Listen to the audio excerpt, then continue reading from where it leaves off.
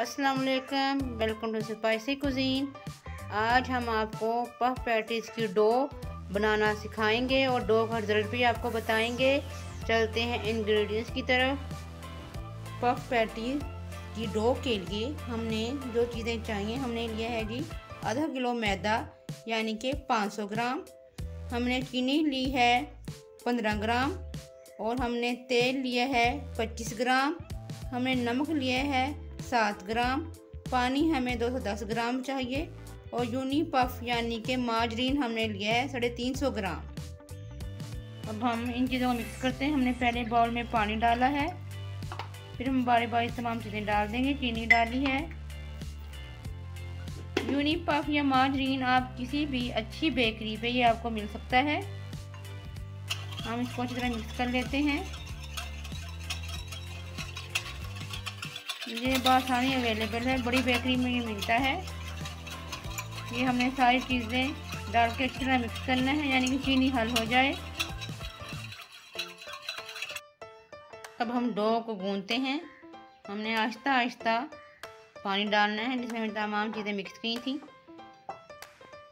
ये हमने आहिस्ता आहिस्ता पानी डाल डाले गूंदना है। पफ पैटीज की डो ना ज़्यादा नरम हो, ना ज़्यादा टाइट हो, यानी सख्त हो।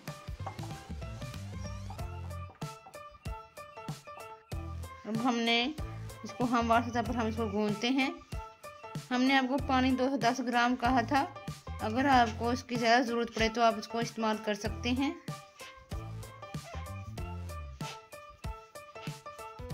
हमें ज़रूरत पड़ी है पानी की तो हम थोड़ा सा पानी और इस्तेमाल करते हैं।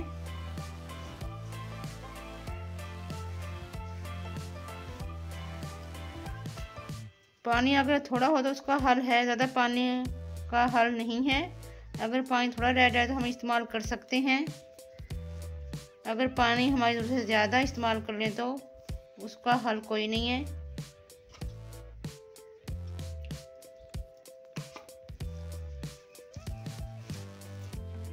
अब पानी की हमें और ज़रूरत नहीं है। अब इसने, हमने इसको ऐसे मलना है तकरीबन पाँच मिनट।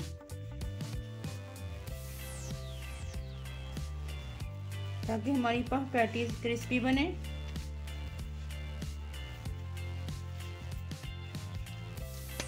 ये 10 से 15 मिनट हो गए हैं। हमने इसको हम इसको मल रहे हैं। ये अब दो हमारी रेडी हो गई है। अब हमने इसको डस्ट देना है। ये हम 20 मिनट इसको डस्ट देंगे। 20 मिनट से ज़्यादा हो गए हैं। ये डो हमारी रेडी हो गई है। अब हम इसको बेलते हैं। और यूनिक पफ इसमें हम यूज़ करेंगे। मैदे से डस्टिंग करते हैं। इसको थोड़ा सा बेलते हैं। हम यूनी पफ की इसमें फिलिंग करेंगे और फिर इसको बेलेंगे। इतना बेलेंगे यूनी पफ। और ये मैदा जो हमने पफ पैटीज की हम डो बना रहे हैं, एक एक यकजान हो जाए।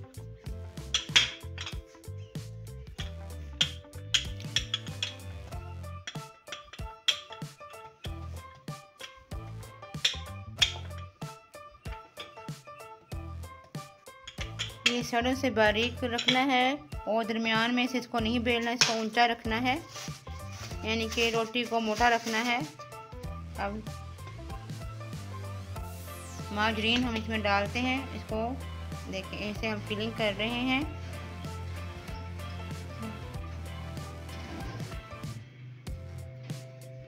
अच्छी तरह से चारों तरफ़ से हमने इसको बंद कर दिया है।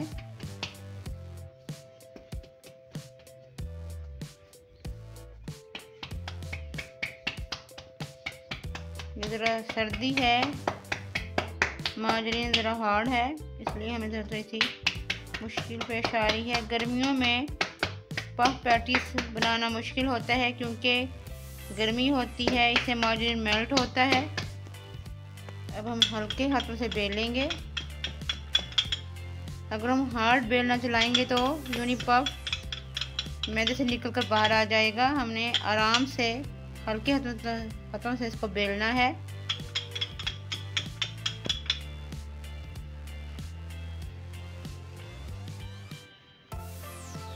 हम पफ पैटीज की जो डो बना रहे हैं, जब ये डो रेडी हो जाएगी तो आप इसको फ्रिज में रख के काफ़ी अर्सा तक यूज़ कर सकते हैं, जो चीज़ आप बनाना चाहें।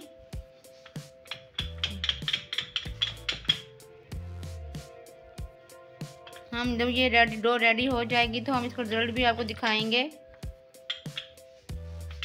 फिर बाद में आप इसे चिकन पैटीज बनाएँ केक बनाएँ बिस्किट बनाएँ। ये मैंने फ्लो में केक कह दिया केक नहीं, आप बिस्किट बन सकते हैं पफ पैटीज बन सकती हैं चिकन पैटीज बन सकती हैं।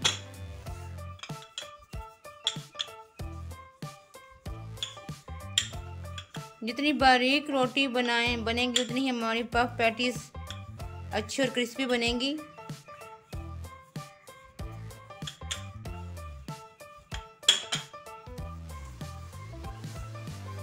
अब फिर हम मैदे से डस्टिंग कर रहे हैं।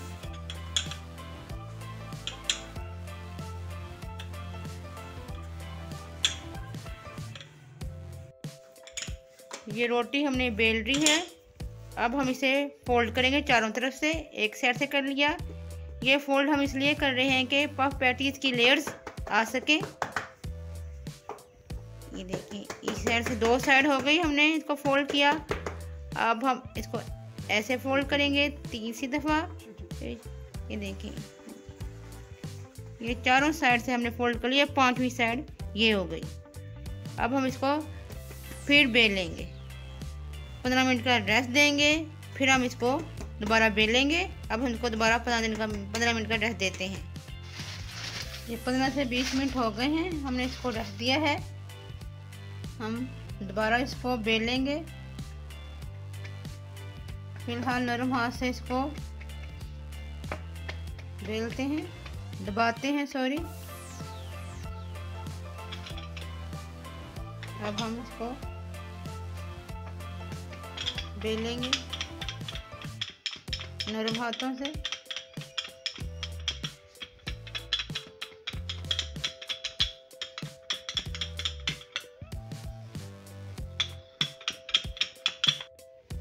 जी हम दूसरी दफ़ा बेल रहे हैं।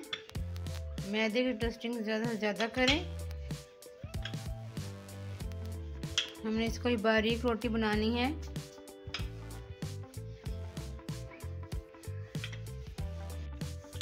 ये देखें हमने कितनी बड़ी रोटी बना ली है। अभी ये मोटी है, हमने इसको मज़ीद पतला करना है। जितनी पतली हम इसको बेलेंगे, उतना ही अच्छा रिज़ल्ट आएगा हमारा। साइड से इसको फोल्ड करते हैं। आप इसको फ्रिज में रखें, एक माह रखें। जब आपका दिल करें, इसको फ्रिज से निकालें। जो रेसिपी आप ट्राई करना चाह रहे हैं, उसे ट्राई करें।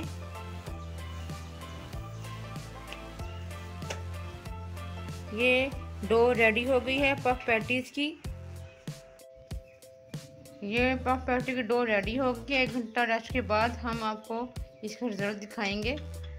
हम इसको थोड़ा सा फिर बेलते हैं। क्योंकि इसकी हमने कटिंग करनी है। ये हमने एक घंटा रेस्ट दिया है ताकि आपको इसका रिज़ल्ट का दिखा सकें। आप इसको इस डो का बना के फ्रिज में रखें। जब आपका दिल करे पफ पैटीज बनाएँ या कोई और चीज़ बनाना चाहें तो बना लें। आप इसकी कटिंग करें। हम इसकी कटिंग कर रहे हैं। ये देख रहे हो मैंने इसको तय किया था तो इसको मैंने आपकी लेयर दिखानी है। ये देखिए, कितनी लेयर्स आई हैं। जब हमने इसको चार दफ़ा, चार हिस्से करके फोल्ड किया था। ये देखें कितनी लेयर्स आई हैं इसकी। बाकी डो को हम किसी अच्छे से शाप में लपेट कर फ्रिज में रख रहे हैं। आप एक माह को सेव रख सकते हैं। और बाकी हिस्से हम आपको रिज़ल्ट दिखाएँगे। हम बेलते हैं।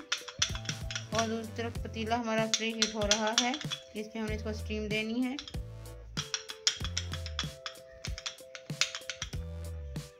अब हम पफ पैटीज का शेप देंगे। जो हमने तीस दफ़ा रोटी बेली है तो इसको चारों तरफ़ से हम काट लेते हैं। कटिंग हम इसलिए कर रहे हैं कि इसकी जो हमने लेयर्स आपको नज़र आ सकें। जो हमने ये फोल्ड किया था, हमने इसे लेयर्स की वजह से किया था इसकी लेयर्स बने। और इसकी लेयर्स नज़र आएँगे हमें, जब हम इसे बेक करेंगे। ये हम इसको कटिंग कर रहे हैं।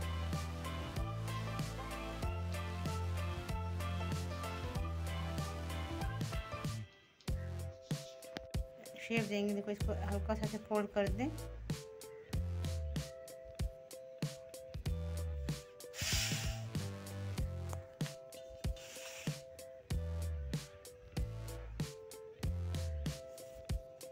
हम सब कुछ तरह शेप दे लेते हैं। इनमें से कलर करेंगे। हमने, हम अंडा, ब्रश से सिर्फ़ अंडा लगाते हैं। ताकि इसे बेक के दरमियान कलर अच्छा आए।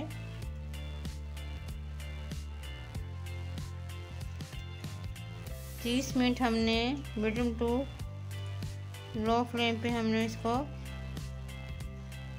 बेक करना है।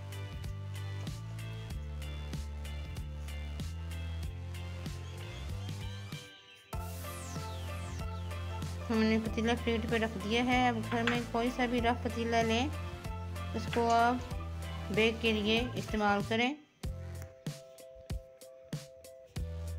हमने नमक डाला हुआ है ताकि स्टीम अच्छी बन सके। अब हम 30 मिनट के लिए इसको बेक करते हैं। 30 मिनट हो गए, हम देखते हैं। ये देखें जी, हमारी पफ पैटी रेडी हो गई हैं। अब हम इसे बाहर निकालते हैं, क्योंकि अंदर स्टीम है अभी। हम इसे फ़ौरन बाहर निकाल लेते हैं।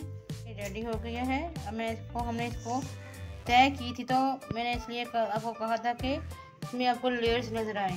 ये देखिए जी। ये देखिए। ये हमने इसको फोल्ड किया था ना, चारों तरफ़ से। इसकी लेयर्स के लिए किया था। अब हम लोग तोड़ के दिखाते हैं कितने ये क्रिस्पी बने हैं। ये देखिए।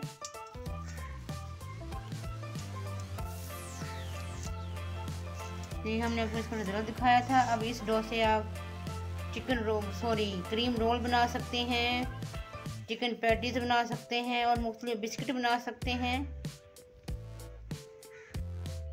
ये देखें, हमने पफ पैटीज़ की डो का ज़रा दिखा दिया है ये हमारी कितनी क्रिस्पी पैटीज़ बनी हैं। आप इसको इसी तरह ट्राई इसी रेसिपी को ट्राई कीजिएगा, फिर अपने कमेंट्स में बताइएगा ये कैसे बनी है। हमारे चैनल को सब्सक्राइब कीजिए, बेल आइकॉन दबाना हर्ज ना भूलिए ताकि आने वाली वीडियो आप तक पहुँच सकें। अल्लाह हाफिज़।